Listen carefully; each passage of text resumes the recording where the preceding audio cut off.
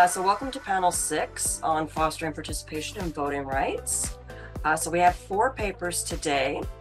Um, we'll start with Lorraine, who's first up on the list, the criminalization of voting and the fraud of voter fraud.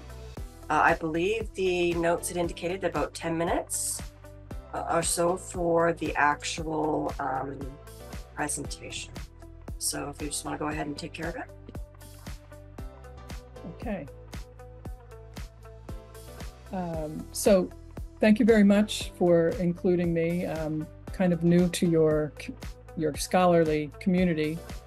Um, and I apologize to my panelists and my discussant for not having the paper prepared. It's um, both a project in a way I've been working on for 20 years and one that um, I couldn't finish in the way that I framed it. But um, um, I, I want to start by um, noting, you know, that Trump's, Donald Trump's Stop the Steal movement um, was fueled by lies about voter fraud.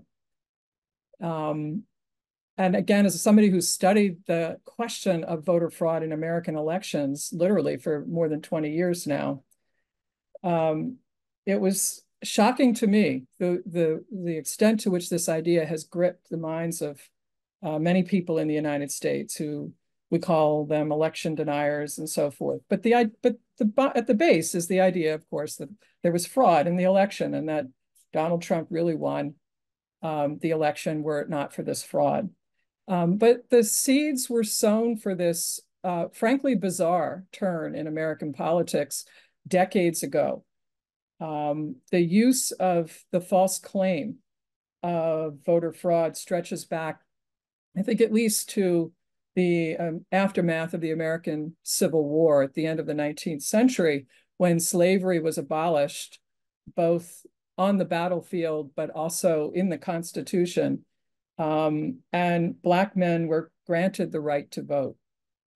And so voter fraud is a kind of ancient for the United States um, uh, history, young country, is a is an ancient racist trope that functions on two levels. Uh, one is the familiar one, perhaps, which is the way in which it's used to justify the regulation of political behavior, the way it's used to justify the rules of elect of elections and electoral po uh, electoral politics. But the second one, which is the one that I wanted to focus on more now in, in my work, is um, is the level at which the trope of voter fraud is used to convey meanings about democracy. And that is that democracy um, is not fulfilled um, necessarily by full participation. In fact, it's polluted by full participation. That's the idea. The idea is that there are some people among us in the society who are not worthy. They're not worthy of having the vote. And so when you look at this in a historical context, uh, in, in the United States, in the history of um, the United States, it's a lot about the purity of the ballot. In fact, that word purity is still in some of the election codes in the states. Um, and so if something is pure, the idea, right, is that it, to, if it's unpure, it's polluted. So I, th I think that's an important point. Um, and I wanted to start, I will share my screen now. Um, this, and go to this. Oops. Um, okay. Um, with just a few, uh, uh, uh, I wanted to introduce you to a few people. Some of you, uh, maybe some of the Americans in the in the room, if they're already, uh, might be familiar with uh, this woman, Crystal Mason, um, who after the 2016 election went to vote. She had she was on uh, probation from a felony conviction for having manipulated um, some uh, tax returns. She worked as a, as a preparer of tax returns and I guess she did some kind of financial fraud. She, she was convicted of a felony. She did not have her rights restored in the state of Texas yet, but she didn't know that, and she went to vote. Um, and she actually had to cast a, a provisional ballot, which is a kind of ballot you cast when they can't find you on the rolls. So she thought she was registered. They said, we can't find your name. We know you, Crystal, but like, in fact, there was a guy who lives across the street from her there. And so she cast this ballot and within a year, she, she was arrested for fraud because she voted while she had this felony conviction sentence that wasn't completed yet. Um, and I have this quote from her, um, which I have to get rid of this little screen because I can't read. There we go. Um, where she's saying it was overwhelming. I felt sick. I felt confused. All I kept saying was, please don't let me go back to jail. I didn't want to go back inside. I told myself I'd never do anything to risk that. This is 20, 2017, 2018, and without telling you the long story of the, the, the uh, trauma for her, this is still going on in 2024. She was convicted. She was sentenced to five years in prison for this vote that was not even counted. Um, and her case went through the Texas courts up and down, up to the Texas Supreme Court. It eventually was um, overturned, but a new, newly elected Republican district attorney in the county where she lives has decided to try to try her again. Um, it's very clear they're trying to make an example of Crystal Mason. Um, the second person here, Lanisha Bratcher in North Carolina. Um, she also had a kind of felony conviction where she hadn't even served prison for it, was for an assault. And she didn't know that she in North Carolina couldn't vote. Uh, and she went and she also cast a ballot, same kind of story. Police came to her door one day, knocked, pounded on her door with her two kids in the in the room, came told her she was going to be arrested, put her in handcuffs, took her away. Um, she eventually also was fighting it for several years. And she eventually did something called an Alford plea, where you basically say, I'm innocent, but I'll plead to being guilty to get this over with. And she was sentenced to um, an unsupervised probation. Um, she also uh, just recently has been told that she may be charged again uh, under different charging um, instructions. Third person, Hervis Rogers. This man, uh, I, again, if you follow American politics, which I don't expect people in this room necessarily do that, but this was kind of a story because this man, Hervis Rogers, waited almost seven hours in line in a, in a polling place in Texas, in Houston, to vote. And he cast his ballot. He was actually on the news because he'd waited so long. Um, he too, he had a few months left on probation. He had been convicted of theft in 1995. He went to jail, prison for nine years. He was still on probation in 2020. And he his probation or his parole rather would have ended in June. He voted like in May or March in a primary. He too was arrested. And the only reason he didn't get sentenced is because he was arrested by the Texas Attorney General's office. And at the time, there was litigation challenging the idea that the Attorney General could, could bring criminal prosecutions. And the court said, no, you can't do that. That's not your mandate. So his charges were dropped. He too recently was told that they're looking at how they might be able to go after him again. Um, this not new. It's not new. I, I tell you one more person here. Kimberly Prude. Uh, this is someone, I didn't meet her personally, but I interviewed her lawyer back in 20, uh, 2007. She's the woman in the photograph on the left. Um, she was somebody in her 40s, a poor low-income person living in, in inner city Milwaukee. She'd never voted in her life. Um, and she got caught up in the presidential campaign in 2004 when Al Sharpton, an activist, came to Milwaukee, ran a campaign. And in Wisconsin, you could register and vote on the same day within a period of time before the election. She got caught up. She was excited about it. They asked her to be a poll worker. She got, in, you know, involved. And because she was a poll worker, they told her, you can vote an absentee ballot because you're going to have to be in the polling place on election day. She sent in her absentee ballot and then she found out she couldn't vote. She also was on probation, uh, parole, because she had been convicted of uh, cashing a bad check, which was a felony in Wisconsin. Um, and so I have a quote here from the judge because, again, this case was tried. She lost. Um, it went up to the Seventh Circuit.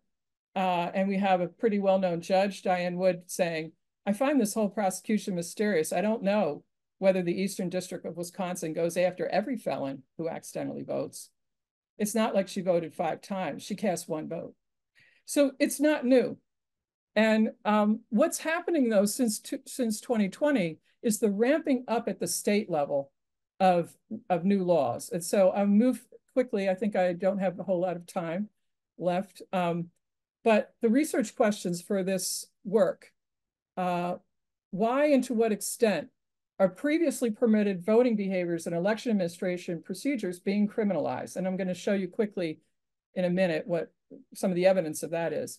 What conduct involving the voting process can a legislature legitimately subject to prohibition and punishment? What meanings are framed by what I'm referring to as the symbolic criminalization of voting? And that's the idea of of criminalization at this other, you know, at this other level of understanding. And finally, what is the impact of criminalization and, and enforcement on voting and voter mobilization activities? And that's the part that's been really hard because people, you know, are sick of it and they don't want to talk to you about it. Um, I, I did an analysis of laws passed since 2022 using Ballotpedia's election administration legislation tracker I cast a very wide net. You see there the all the topic areas. I didn't even I didn't use keywords. I just used categories. Um, and then I'll show you a little bit of the actual evidence about voter fraud. Um, but let me just quickly um, give you a sampling of what I'm calling first order criminalization laws that are new crimes, that are harsher, harsher penalties for existing crimes, versus second order criminalization, which are laws that um, make it hard for people to comply with the law. And so you get caught up in it and you get set up for potential uh, punishment. And so these these are just this is just in the last two years new felony crimes in Arkansas for forging a signature. Um, you see these penalties are felony penalties for touching absentee ballot applications. Um, the last one is really a joke. Voting in a primary in which a person is not a bona fide member of and affiliated with the political party holding the primary. In Tennessee, you can't do that. You can't, you, they don't register by political party. Parties don't have members. So nobody even knows how this law is going to be applied. Um, I mentioned uh, harsher harsher penalties, and this has to do sometimes with increasing crimes, punishments from misdemeanors to felonies. Uh, so West Virginia at the bottom there increases penalties for illegal voting from a misdemeanor, which was up to just one year in the jail, in county jail to a felony, where you could get up to 10 years in prison. These are quite harsh penalties. Um, or this one, uh, reenacting existing crimes. So states already have bans on non-citizens voting, but they're passing laws to do it again. Uh, it's the same thing is happening in US Congress. There's a bill in Congress uh, to make it illegal to vote if you're a non-citizen. We already have that law. It was passed in 1996. You can be deported for voting if you're not a citizen in the United States. And I, in my earlier work, I found people a man who was deported to Pakistan. He lived in the United States for 20 years. He didn't even vote. He accidentally got registered to vote through the motor voter bill. They deported him. Um, prohibitions on assisting voters. This is a very important area that doesn't get as much attention um, as it should. And so this has to, a lot to do with um, regulating groups that try to get, get out the vote or try to get people registered. And this has pretty much shut down voter registration drives in the state of Florida. right now. Um, second order, and I, I, I think I'm almost out of time. I'm looking. I'm way over. Okay. Um, second order restrictions on third party groups, some crazy things, pro prohibiting handwritten absentee ballot educations, prohibiting drop boxes, prohibiting uh, election agencies from prepaying for postage on absentee ballots, uh, et cetera, creating new enforcement agencies uh, to go after non-existent election crimes. And finally, um, prohibiting reforms that increase turnout. States are passing laws, sometimes putting it in their constitution, to ban same-day registration, ban ranked choice voting, et cetera. Um, I'm going to stop sharing um, and and leave you with the the last part of this, which is there's there's manifest evidence that voter fraud is not a problem in the United States. So the question is why? What what are they what are they doing? And my my my short answer to it is that we're in a new age of performative politics, and that the performance is for the audience uh, that the politicians want to vote for them.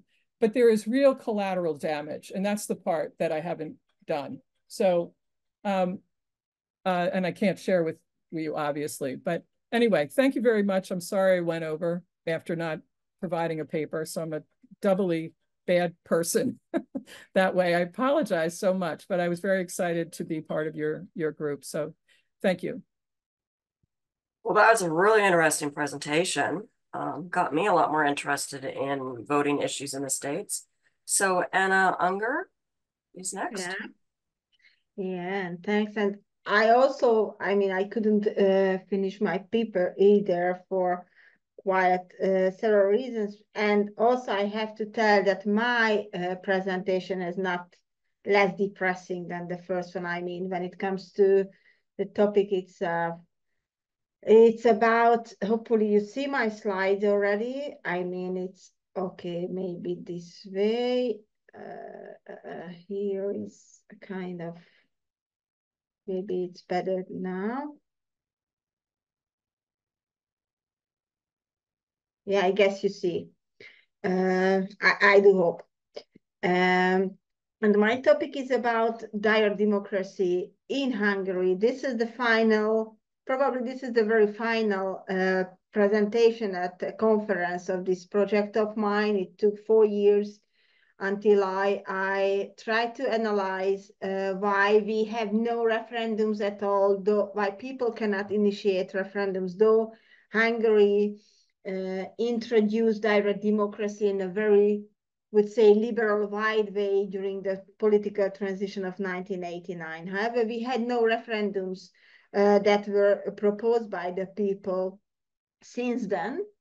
And this was a very regular question I got from scholars from all around the world whenever I went to conferences that how come that by law we have a very user-friendly people-friendly legislation, rules about initiatives and referendums, and the practices practices uh, uh, relatively zero.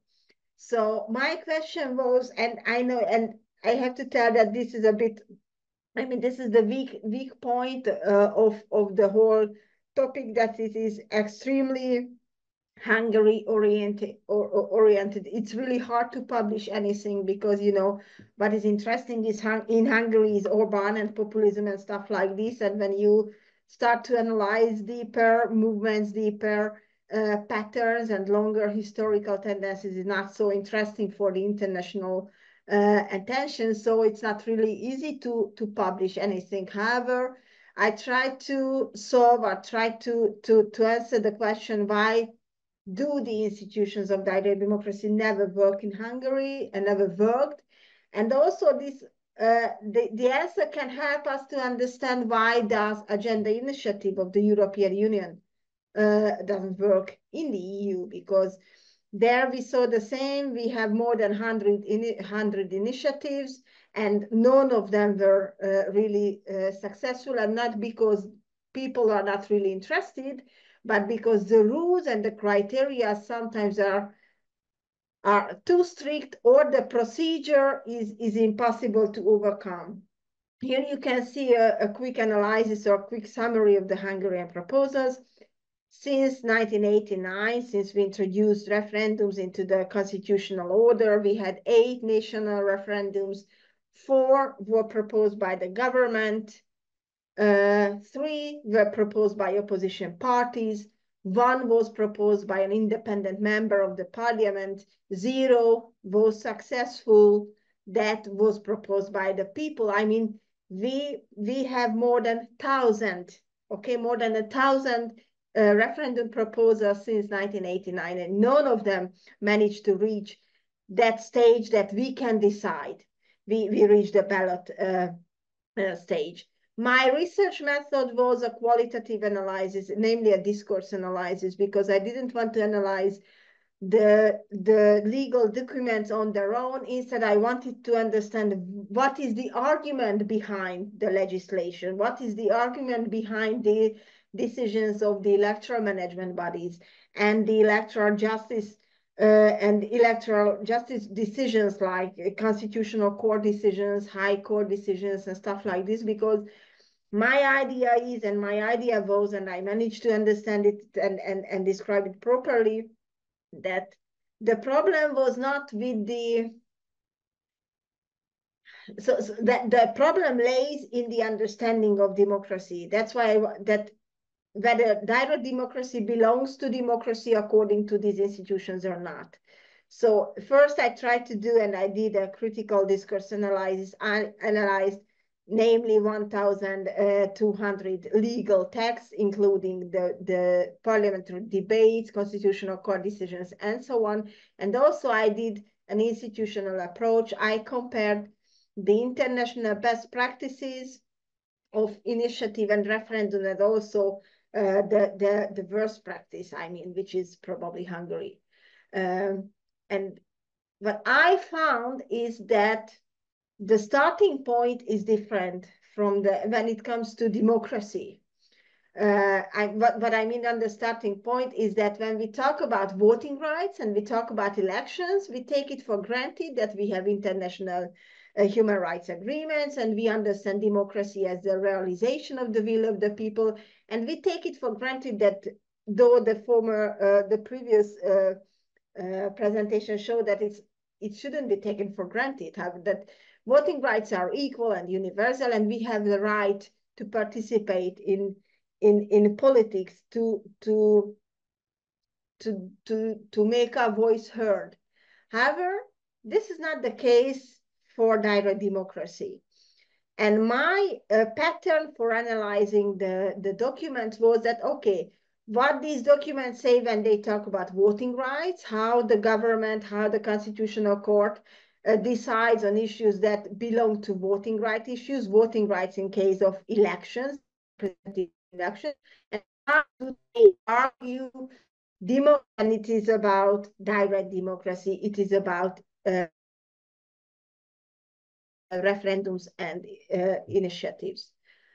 And what was pretty interesting for me that in case of voting rights, that we shall have guarantees to protect our voting rights, and we shall have uh, practices and procedures that protect the representatives and the institutions and the people.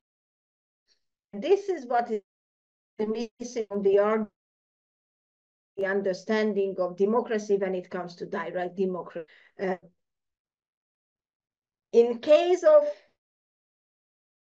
uh, uh, referendums, the, the let's say the political discussions, and I have a summary in the coming slides. I don't want to next things, but it's very important here. It comes to to and voting rights. They are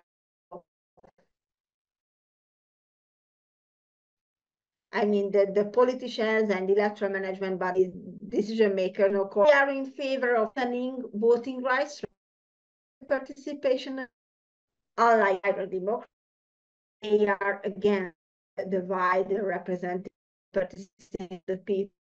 And there is this kind of between the two kinds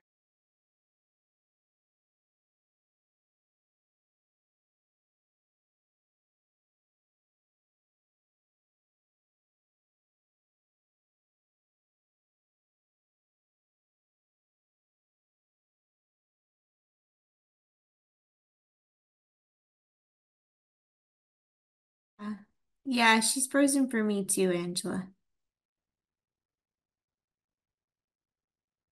I wasn't sure if it was on my end or not. Oh, she probably got kicked out. Okay. Maybe you give her. Oh, there we go. She's coming back. I also think her her slide was frozen Yeah. on the uh, on the first one. Yeah, because I now? Hello? Hello, do you hear me now? Yeah? Okay, but you don't see my slides, I guess. No. And I think they were No. frozen on the first slide. Oh, I think she's frozen again.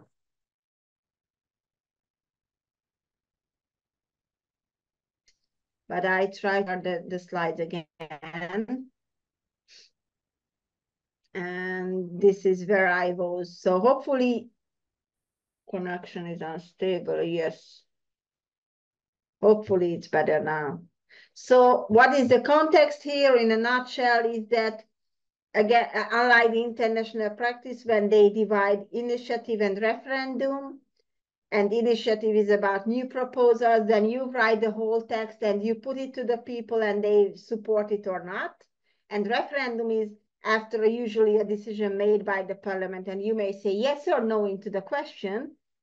The Hungarian legislative body never divided these two institutions and it is an extremely I would say after this late era, it's a very stupid uh, system in that sense that it is the obligation of the parliament to pass the law, but you have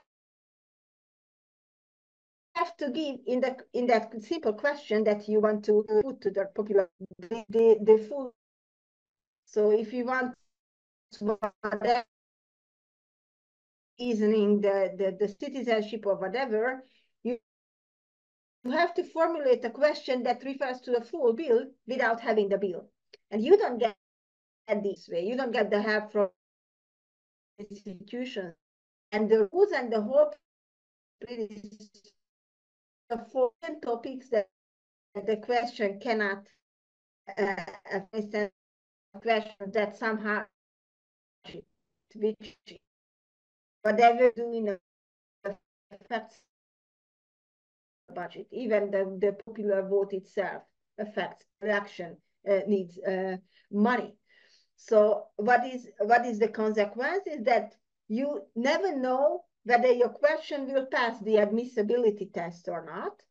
And this is a very interesting, would say, to, to be polite, a very special uh, story that there are three filters in order to pass uh, the, the, the, the whole procedure. First, you have to certify, verify the question.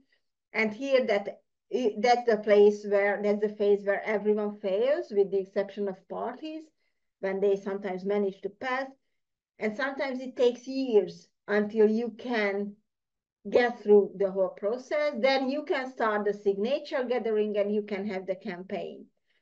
Uh, what are the consequences? What are what is the analysis? Uh, the the legislative body it's very interesting. The the focus of the of the political debates around direct democracy was always about how to limit democracy, how to limit direct democracy, how to limit the, the access of the people, how to secure the autonomy of the of the of the elected bodies, and how to protect representation and democracy from the people, which is which is pretty interesting, but not uh, uh, of it's it's not not uh, not new thing. If you think to Burke's idea about democracy and and the people's representation it was quite similar to this or Madison's ideas. And the the the discussions and negotiations and arguments of EMB and electoral just, justice institution and this is what I think is uh, is more important as it they had a very strict focus on legal issues. And the standards they require from the people to, to, to respect when we start a proposal are not collected. We have thousands of different decisions that we should know on our own. We get no legal expertise. We get no legal help from the electoral management bodies.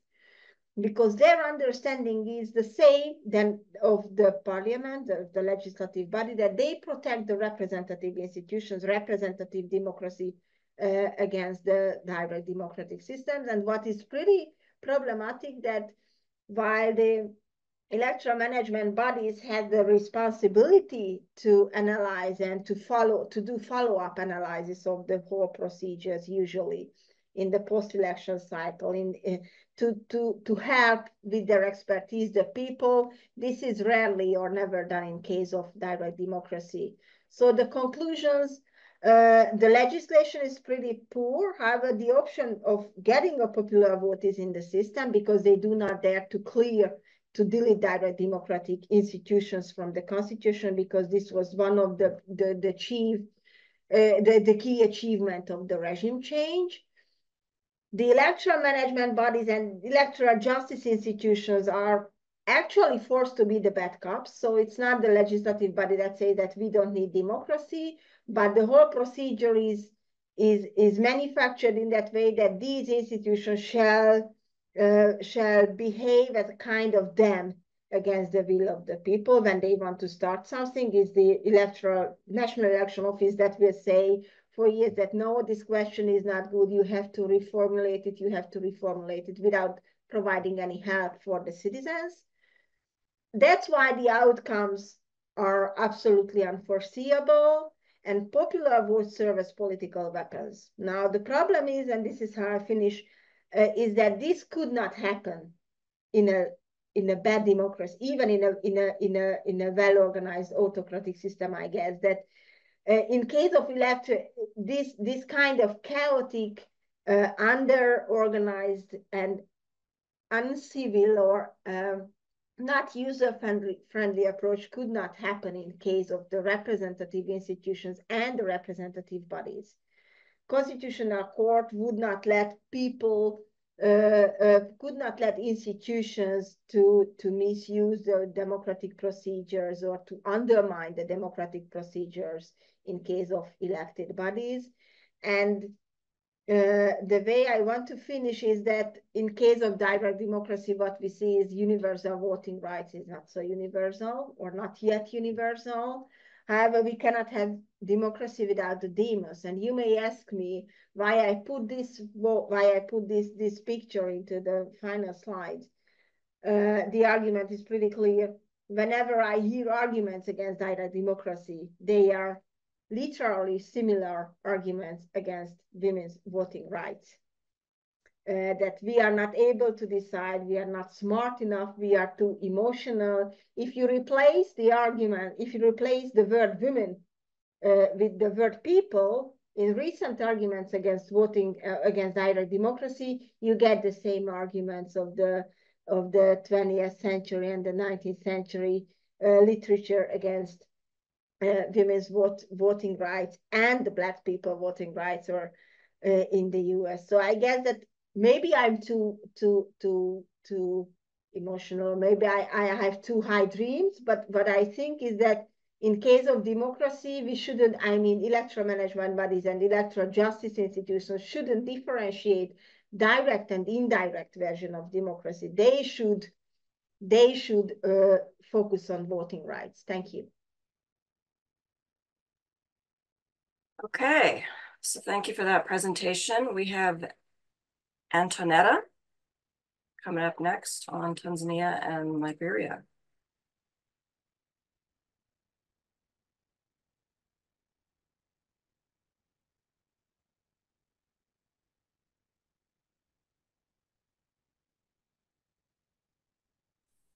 Hello, good evening, everyone. Uh, please confirm you can hear me clearly.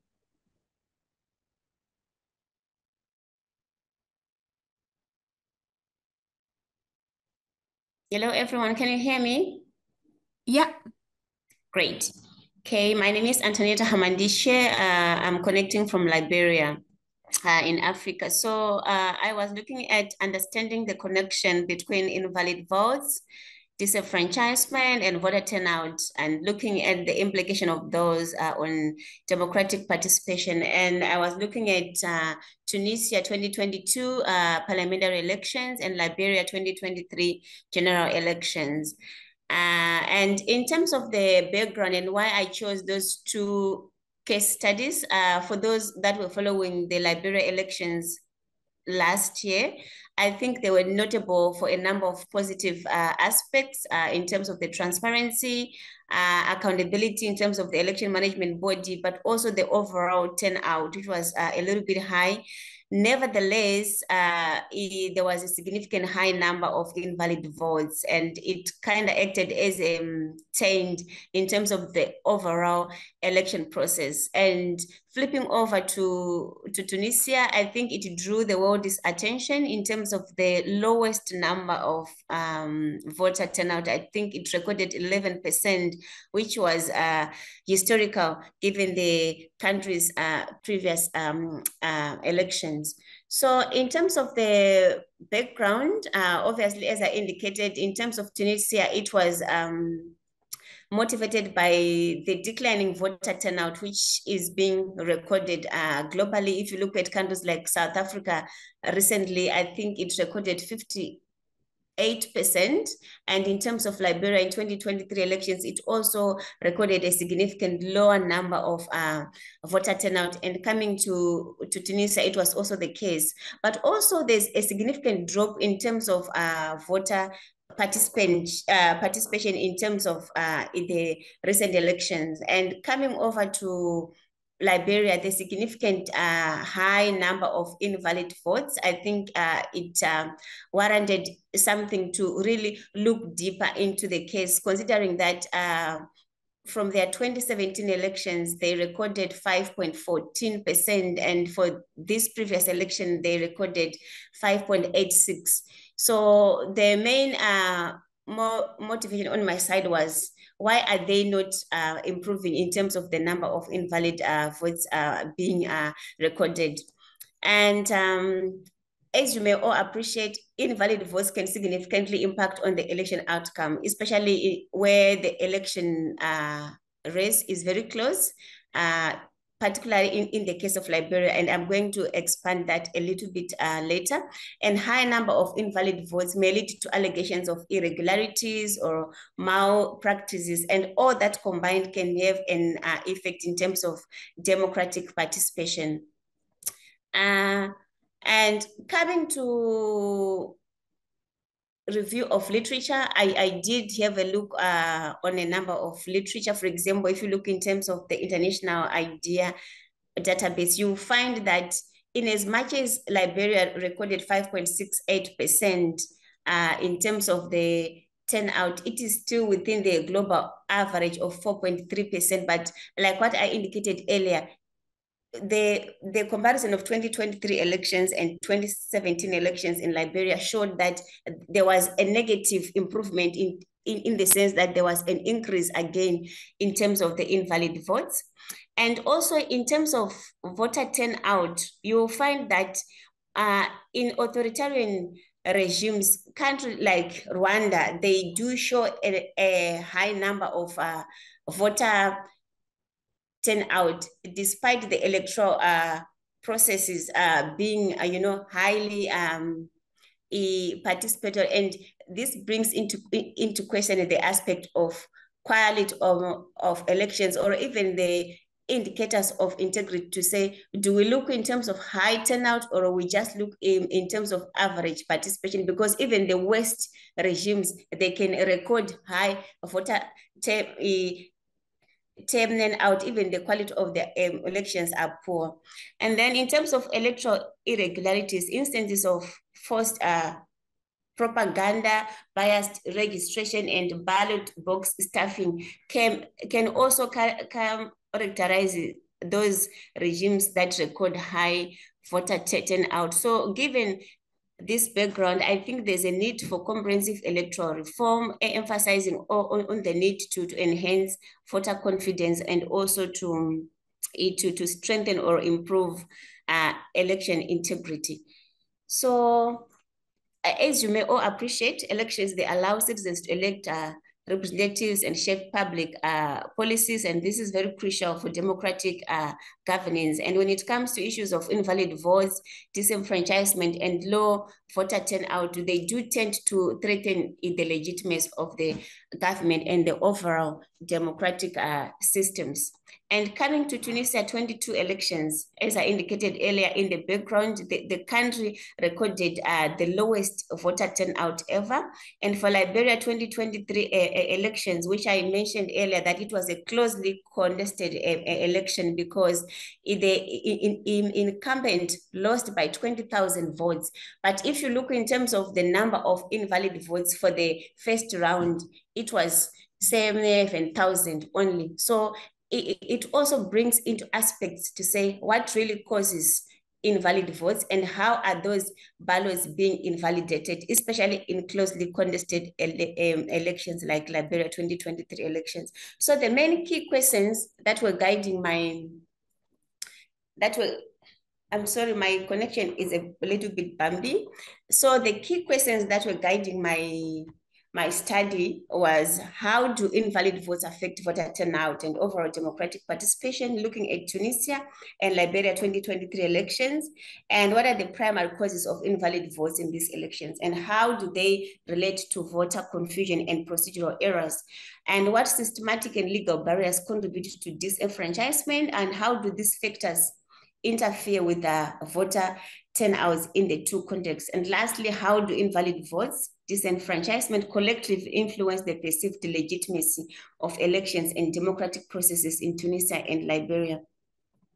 And in terms of methodology, I, I used a comparative, um, I used a comparative perspective in terms of uh, uh, looking at Tunisia 2022 elections and Liberia 2023 elections, and I gathered data from diverse sources, including official election observation reports, commission reports, but also I benefited largely from my ethnographic experience because uh, I, I, I was deployed and I'm still deployed in Liberia as a long-term uh, election observer. So, so some of my insights and also the key interviews I, I, I held with uh, the different stakeholders contributed to the findings uh, from this study. Uh, so my analysis entailed a detailed examination of election processes, including legal and administrative frameworks, voter education initiatives, and measures to address disenfranchisement. Uh, and I used the different variables to explore the relationships between these two elements, invalid votes, sorry, three elements, invalid votes, disenfranchisement, and voter turnout. Um, then going on, uh, I'm, I'm uh, due to time, I'm just going to zoom into the main findings and I'll start by Tunisia. So Tunisia recorded a historically low voter turnout uh, of 11.66%, which is the lowest in the country's history, indicating a widespread disillusionment with the political, economic, and social conditions. And uh, this is based on the fact that in 2021, a year before the 2022 elections, the president introduced a number of uh, uh, reforms which were very unpopular. I mean, he dissolved the parliament uh, against the public will. Uh, so that contributed to some form of voter apathy because uh, many voters, it is assumed, were no longer interested in the election because they regarded the dissolution of parliament as a presidential coup or, uh, I mean, or a unilateral decision, which was not popular to many. Then also I found out that there was a dis disillusionment with political system of Tunisia. Many Tunisians felt that the government failed to address the issues that led to the 2011 revolution. I mean, to those who still remember the revolution which happened in 2011, which ushered in new democracy in Tunisia. So the public felt that uh, the current government was no longer in tune uh, with the ethos of the 2011 uh, revolution. So that contributed to apathy and skepticism about the electoral process of 2022. Uh, okay, I'm being reminded of time here, okay. And also uh, the low voter turnout was because of the youth disengagement. Young people had the lowest voter turnout according to the data from Electoral Commission. And this reflected dissatisfaction with the unaddressed demands from the 2021 protests. And also the issues of security concerns and distrust were very widespread, um, especially among the political institutions. And this further detailed voter participation in questioning the legitimacy of the electoral process uh, as a whole. And then, as I mentioned earlier, there was the crisis of legitimacy um, and also lack of political reforms. Uh, there were there was significant uh, lack of political reforms and the perception of a stagnant political landscape, which diminished somehow voter voter enthusiasm, and also um, okay. And then obviously there was failure in public um, engagement from the government side. I'll quickly jump into uh, to look at the findings from Liberia so that I don't miss my time as such. So in terms of Liberia, uh, the key findings in terms of what caused the invalid votes was mainly the design of the ballot uh, paper itself inadequate voter education and also the complex voting system and the issuing of more than one ballot paper uh, was mentioned as one of the reasons, but also the administrative lapses. Uh, for example, there was ineffective training of election officials and deficiencies in the Electoral Commission's guidelines, which led to inconsistencies in handling and validating votes. For example, there was limited understanding of ballot validation and there was limited uh, cross con confirmation between the presiding officers and the party agents. There was also delayed and insufficient civic and voter education. I think it started two months before the election. So this contributed to the insignificant number of invalid votes, uh, besides the poor road infrastructure uh, in Liberia. And also the polling place issues, uh, most of the polling places were places were small, overcrowded, and they were poor. Uh, they had poor light and inadequate uh, facilities, which contributed to voters not being able to correctly mark their ballots. But also, there was another uh, interesting issue which came out to say some voters were were just voting. I mean, uh, not being careful because they had lost trust in the candidates. So you find some voters voting or or expressing their choices on more than two or three eh, candidates.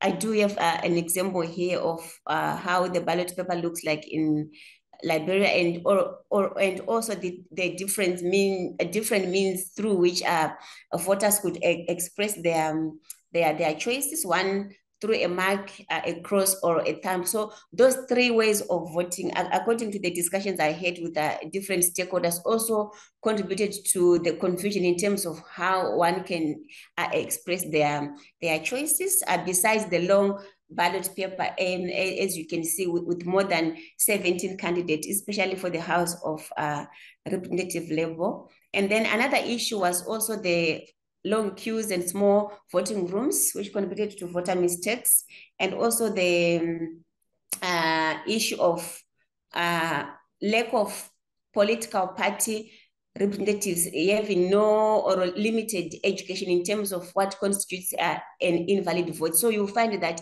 in the party agents had li limited interaction with the presiding officers. And in most cases, the presiding officer would have the final say in terms of what determines or what constitutes an invalid vote.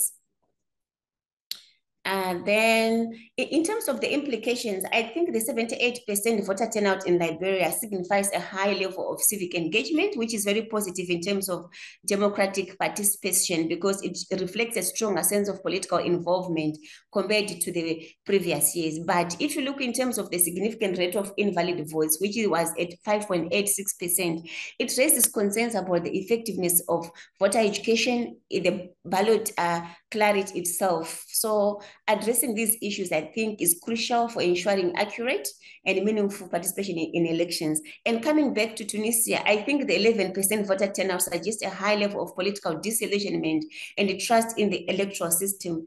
And this low engagement points to underlying issues such as um, inadequate voter education or maybe authoritarian uh, term, uh, tendencies and um, while Liberia shows an upward trend in voter engagement, uh, given the 78% voter turnout, the rise in, in invalid votes highlights persistent challenges Tunisia is stable but lower voter turnout. I think it shows ongoing difficulties in fostering widespread political participation and trust in elections. And uh, I'm being and I do have a slide which shows the the connection between the two variables, but I don't know how good I'm doing in terms of time. Uh, but I, I just want to, to emphasize that there's a close link between invalid votes voter turnout and uh, disenfranchisement. For I mean, for example, invalid votes, especially when they're high, they tend to undermine confidence in the electoral process, and this discourage voter turnout uh, in terms of the future elections.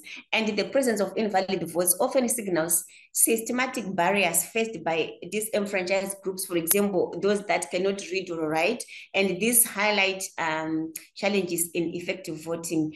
And uh, disenfranchisement also, I think it reduces the number of eligible voters, uh, which leads to lower overall voter turnout and potentially higher rates of invalid votes.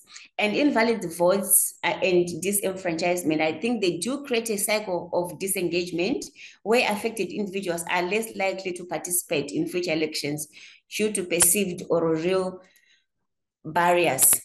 And um, I, I just want to, to, to end on a positive note to say, in as much as invalid votes and a low voter turnout are not good for democratic participation, there are mechanisms that can be put in place uh, to, to, to try to, to, to address those. For example, um, there is need for effective voter education campaigns to mitigate these issues uh, and also, I think there's need to implement accessible voting systems. There is need to, to, to put in place effective legislative uh, reforms, especially on the part of the government, which shows, which shows transparency, which promotes accountability, and also removing any uh, aspects of mistrust or any forms of uh, voting barriers.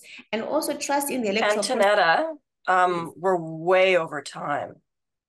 Is there a final comment, like one sentence that you can say? All right. Okay. So I just want to um, uh, to conclude by saying that as billions of citizens this year are due to to participate in elections, I suggest that most attention must be focused on who wins and by what majority, and to check if the intentions of those who would have voted uh, uh, was clear and if it counted at all. Thank you so much, and my apologies for going beyond time. Okay, so our final presentation is Regina and Whitney. Great. Um, Whitney is going to kick us off. Perfect. Here we go.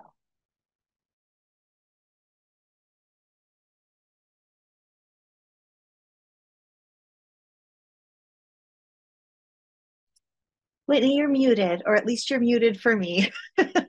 I am. Sorry about that.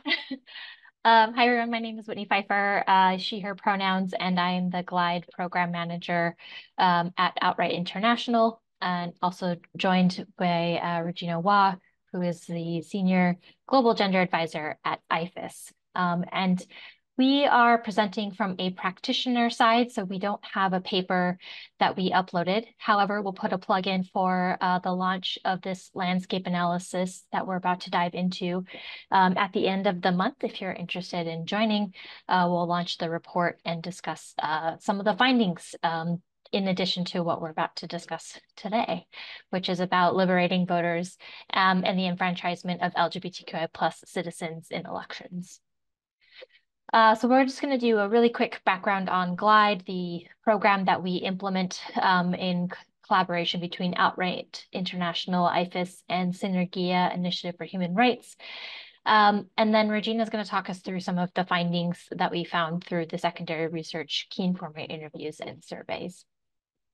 So GLIDE stands for the Global LGBTQI plus Inclusive Democracy and Empowerment Initiative.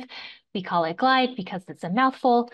Um, and GLIDE is really uh, trying to um, increase access to and participation in leadership of LGBTQI plus individuals in the democratic space and to utilize democratic engagement and processes as a tool for furthering their rights as LGBTQI plus communities, but then to also be key leaders and um, and to, to be key leaders in advancing and countering democratic uh, uh, countering democratic backsliding, but also mitigating and, and strengthening existing democratic uh, standards that are already in place. Uh, GLIDE has a lot of different components, including grants, uh, capacity strengthening assistance, research, publications, and convenings.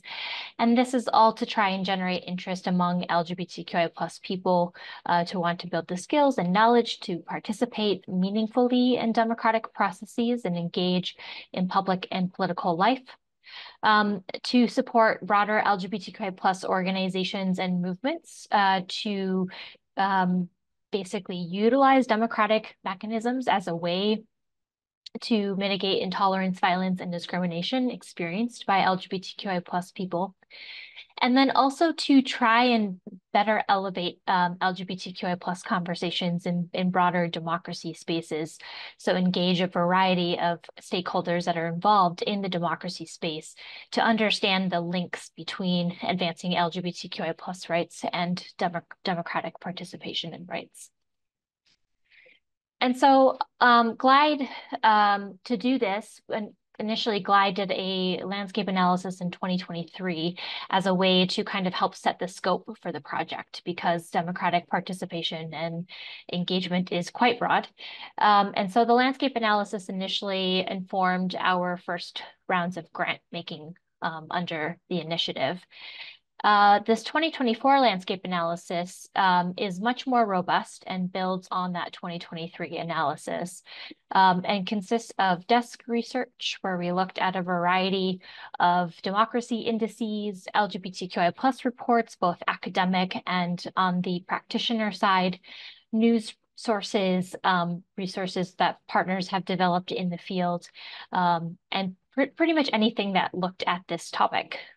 Um, we also conducted primary research through a global survey um, where we received 190 responses from around the world um, and 45 key informal interviews with activists, experts, and academics also around the world. The report that we will talk be talking about primarily from the elections lens today will be coming out at the end of the month, and it looks at key findings, gaps in knowledges, and promising practices and recommendations based on the analysis conducted through the desk research and the primary research. So the desk review was very comprehensive. Um, and as I mentioned, it, it tackled a variety of um, indices that already exist, including variety of democracies and Freedom House, we also looked at a variety of reports recently from the Williams Institute and UNDP on LGBTQI plus political participation. There's also a variety of academic resources, um, as well as we're seeing few articles coming out of the, the NED's Journal for Democracy, for example. Um, and what we're finding is that elections obviously are a very key component of, of analysis this year for democracy because of this mega year of elections. And that key and that high elections can be a really key factor in the continuation of either democratic backsliding or the prevention of democratic backsliding. Um, and that it's important to think about elections as we head into this major year um, particularly because elections can be a hotspot for LGBTQI plus communities. Um, and, and Regina will talk a little bit more about what that looks like. But we do know that there's escalation around violence um, and online attacks and, and other forms of discrimination towards LGBTQI plus people in the lead up to elections. Uh, we also know that scapegoating is a very useful tool in political party and candidate campaigns, um, which is also leading to and resulting in um, attacks um, on LGBTQI plus people um, as a result of these, uh, these campaigns. Um, the literature also found that, um, you know, that there is a contrast between democratic backsliding and LGBTQI plus rights with the caveat um, that, you know, although we're seeing um, more than we, you know, more laws being passed to protect the, the rights of um, LGBTQ plus people and decriminalizing content, consensual same-sex activity, we are also still seeing brand new policies that are lim limiting their rights um, and openly discriminating against LGBTQ plus people. Um, and a lot of these are targeting um, you know, those experiencing disproportionate impacts within this umbrella, including transgender communities, um, who often are at the brunt of a lot of these um, really hate-filled uh, democratic uh, or election campaigns. Uh, we're also seeing that LGBTQ plus rights uh, is increasingly polarized when it comes to the support. People are either for or against. There's not a lot of middle ground. Um, and that can make it very difficult when making the arguments for why um, LGBTQ plus people should be participating in these processes to begin with. Um, and then one of the last things that we found from the key findings, among many other findings, um, is that um, with populism on the rise, elections have been less helpful for LGBTQI plus rights.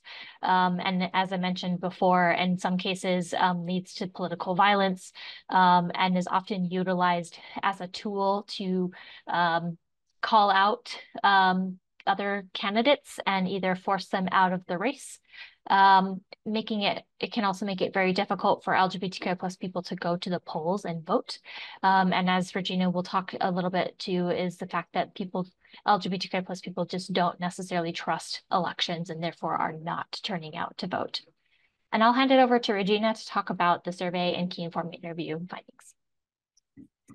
Great. Thank you so much, Whitney. Um, and you can go ahead and go to the next slide for me. Whitney has very kindly uh, offered to, to help run through these for me. Um, so, so in both um, the key informant interviews and the survey, we collected information, you know, kind of broadly and then more specifically about the LGBTQI plus community's participation in civic and democratic processes. And of course, we we started but did not end in asking about elections and, and participation in elections.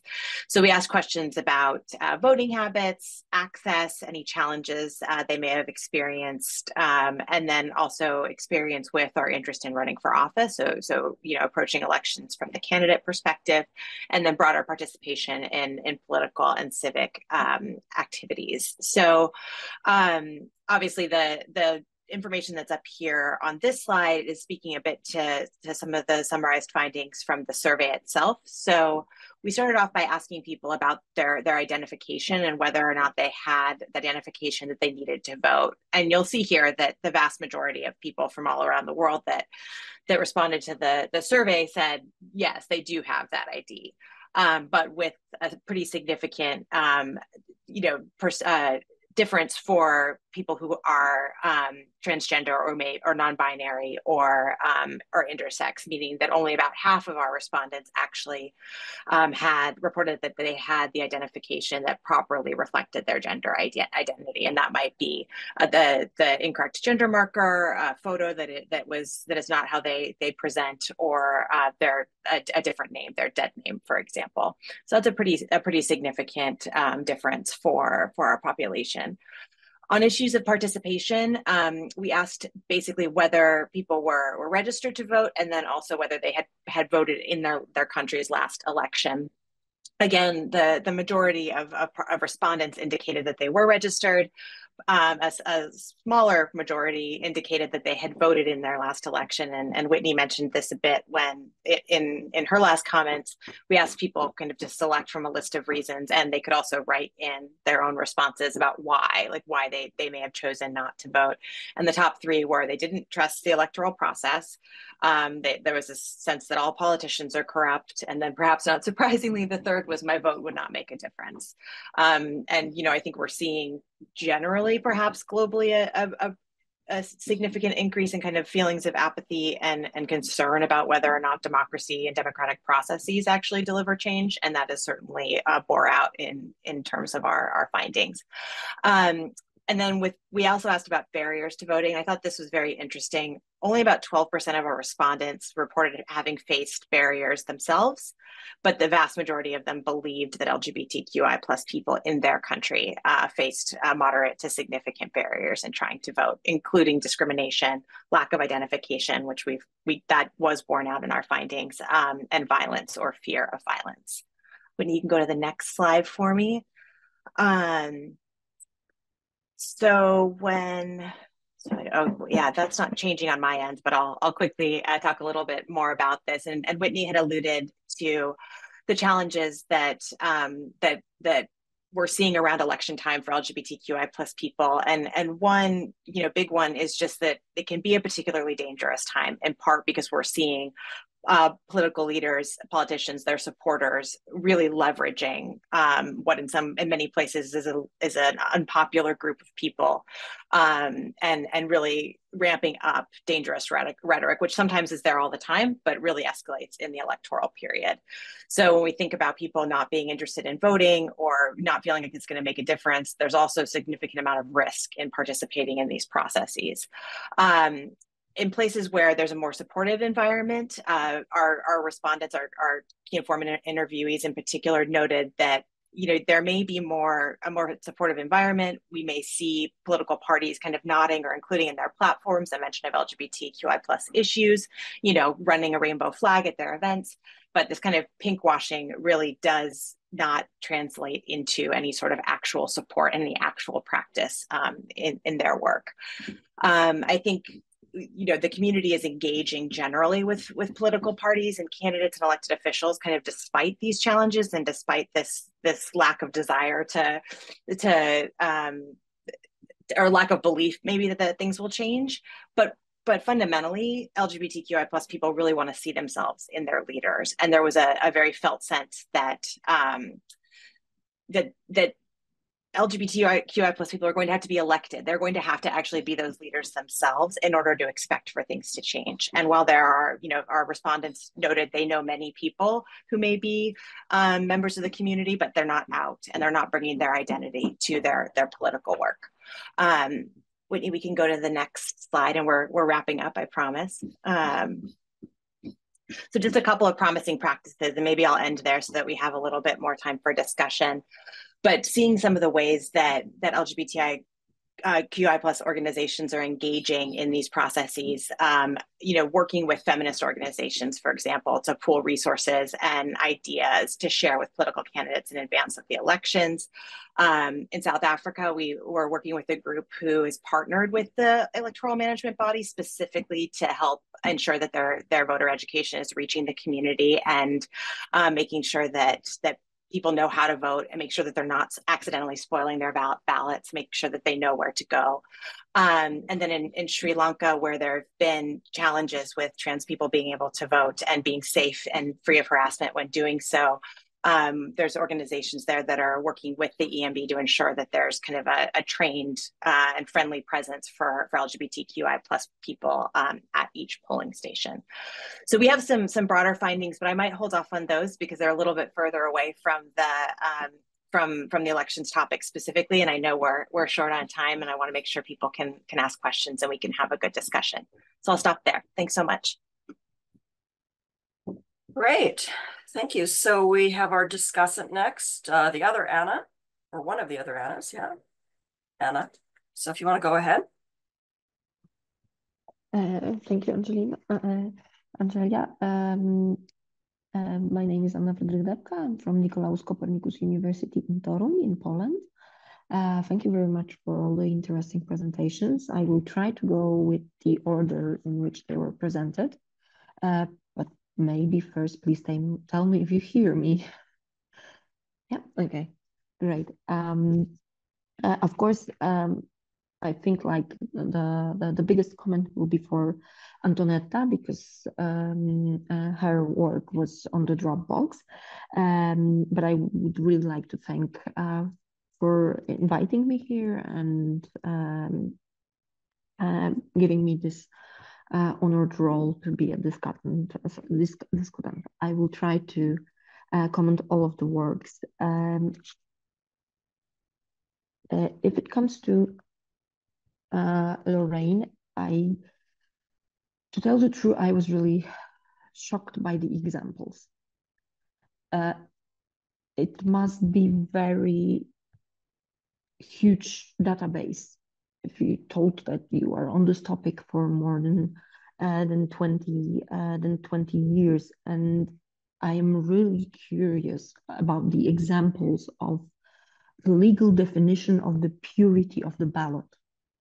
It's something that cuts my mind. And uh, is there, with all these legal changes, do you see some uh, uh, the same line line of uh, in different states of the uh, ratio legis behind all of these amendments? This would be my uh, uh, my two questions. And are there the possibilities, uh, or if they are used or not, to uh, check the compliance of these legal amendments with the basic election standards? Yeah, so the basic principles of the uh, of the elections, because some of they are in the manner which you showed, uh, non-compliable with the, for example, uh, universal suffrage, uh, in my opinion. Um, that would be uh, for the first presentation. Uh, to um, Professor Anna Unger, um, I really, I'm really inspired by uh, by your presentation. I'm very sorry that, that it was a bit interrupted because of the uh, uh, connection issues. Um, I am uh, wondering because in Poland, I think we do have some similarities in our regulations concerning the um, initiation of the referendum by the uh, by the citizens. Uh, but in our case, unfortunately, this is the lower chamber chamber of the parliament who is stating if the questions are uh, good or not. Um, so um, it's quite similar. We we have these uh, regulations, but we have like not really many referendums.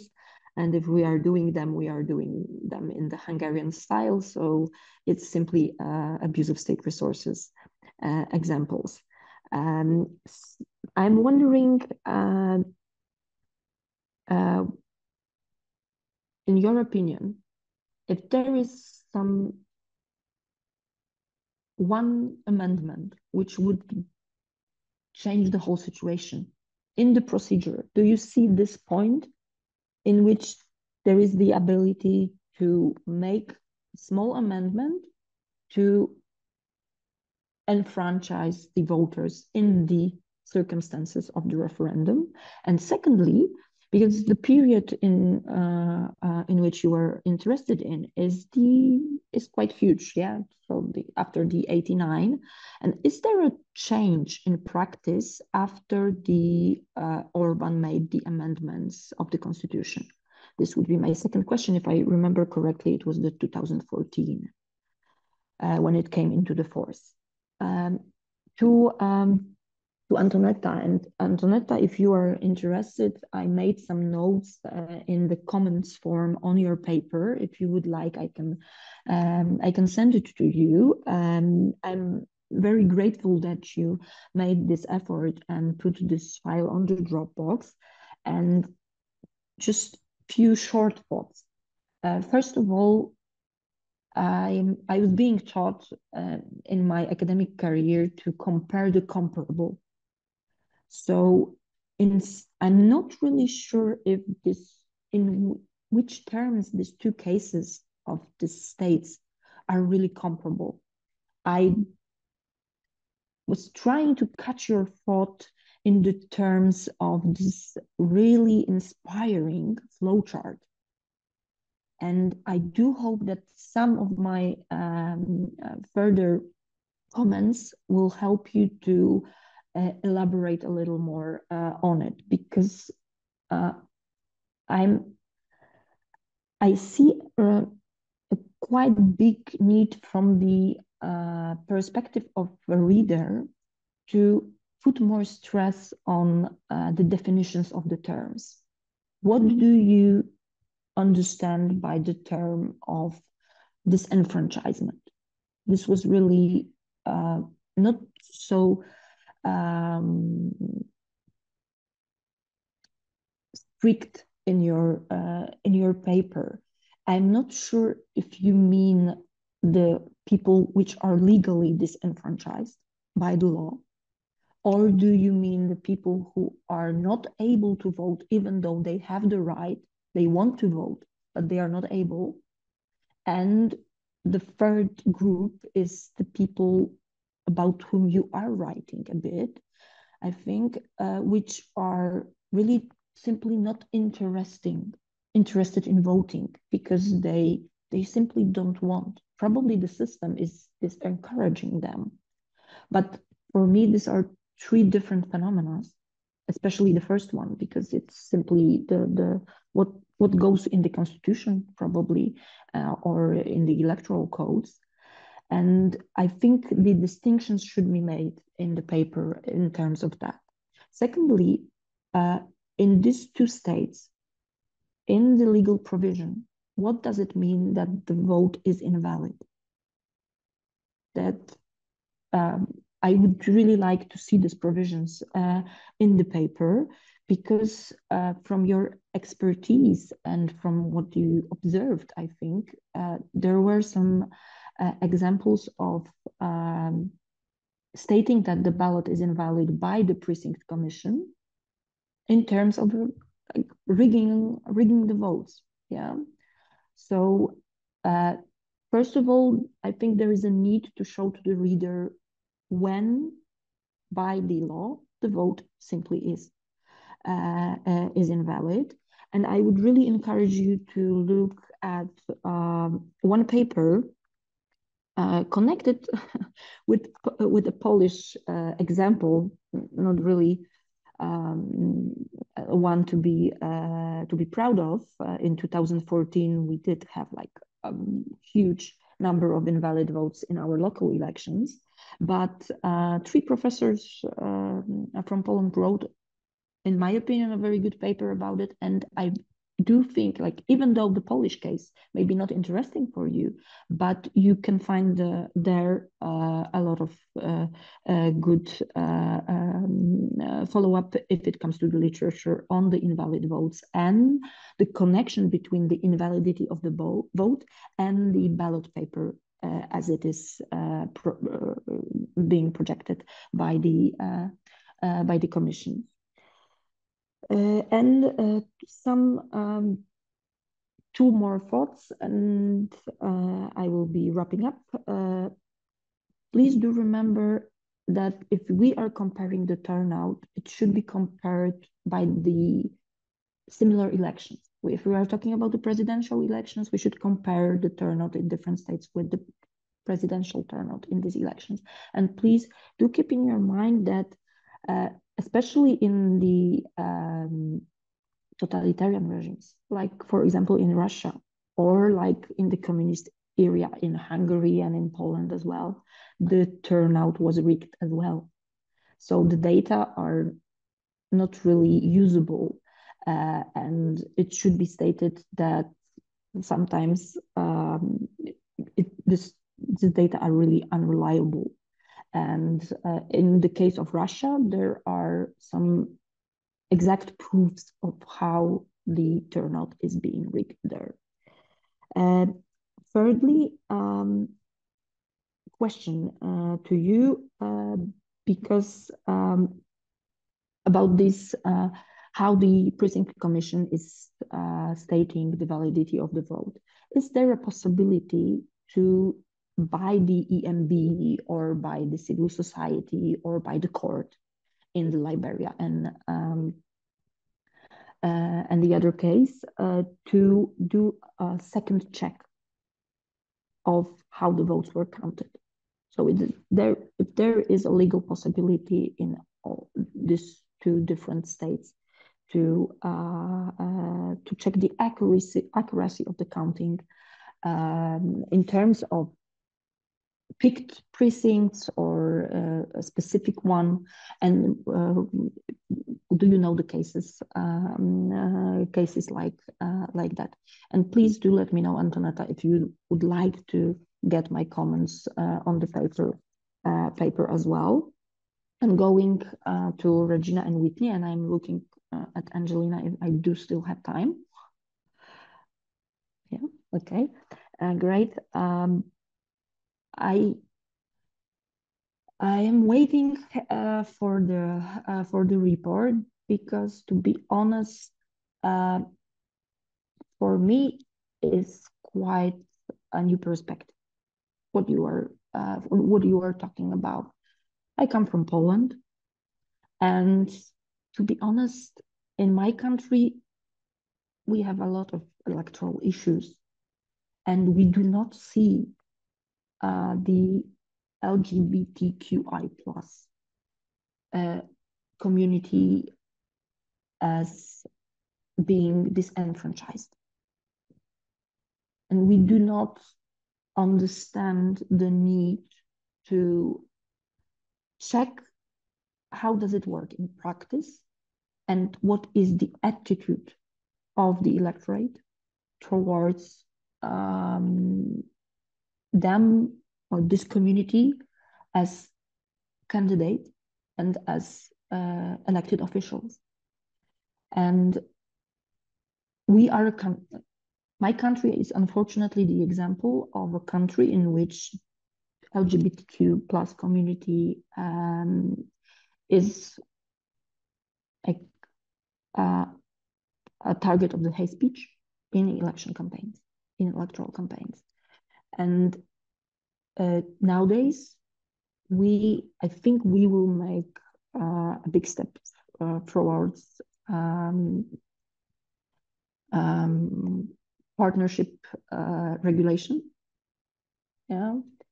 And for me, the issues you told about are, in the case of Poland, uh, not an electoral issue, but firstly, the issue of other branches of law. If we will exercise the rights of LGBTQI plus community in the administrative law in front of all the public courts, then I do think that simply the political landscape will make it easier to practice the electoral law. Because if it comes to the regulations, we all are equal. Yeah. Of course, there is a lot for us to do in the case of electoral campaign and getting rid uh, of the hate speech towards uh, towards this uh, uh this community. Luckily, we do have some parliamentarians which do states that they are from this community and they are trying to do their best to keep their interests on our uh, focus. Uh, waiting for the uh, for the report and uh, one more time uh, many thanks for having me here and many thanks for a very interesting presentation. Okay that's great